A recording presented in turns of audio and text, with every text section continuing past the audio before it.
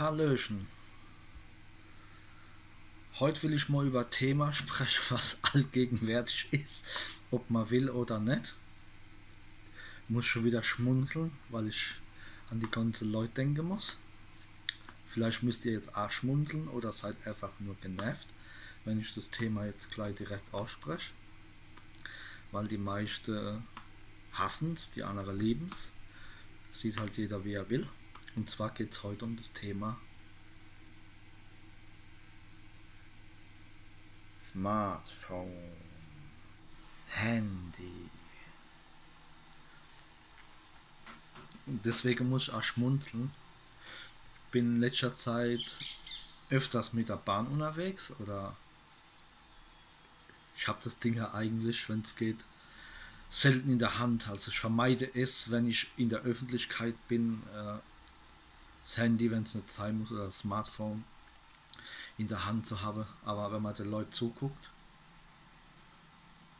die laufen auf dem Gehweg, sind total fixiert aufs Handy, die kriegen gar nichts anderes mehr mit.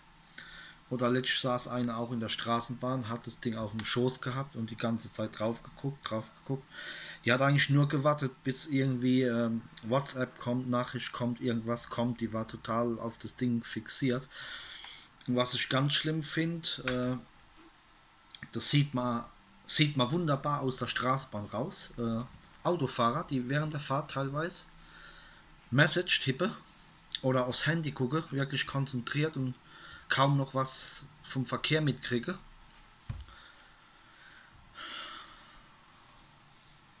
Wie gesagt, das kann jetzt jeder sehen, wie er will. Ihr könnt mal Fluchkommentare reinschreiben in mein, mein Ding. Würde ich mich auch darüber freuen.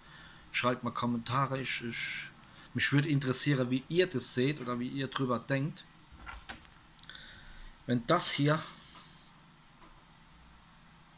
ja, wenn das hier einer der wichtigsten Dinge ist in eurem Leben, und das ist jetzt nicht bös gemeint, macht euch bitte massive Gedanken, was bei euch falsch gelaufen ist oder falsch läuft.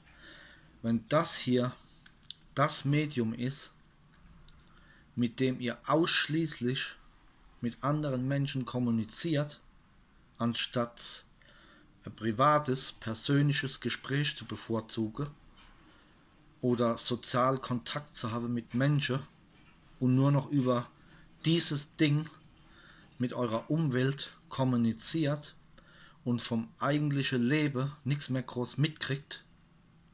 Wie gesagt, ist nicht bös gemeint, aber macht euch dann bitte, bitte, bitte wirklich ernsthafte Gedanken, was in eurem Leben falsch gelaufen ist. Ich wünsche euch viel Glück, Selbsterkenntnis. Macht langsam mit den Dinger und für die Zukunft sucht mehr den persönlichen Kontakt im Zwischenmenschlichen. Der Erklärbär wünscht euch eine schöne Restwoche und verbleibt mit freundlicher Liebe, nette Grüße und ich freue mich jetzt schon auf eure Kommentare.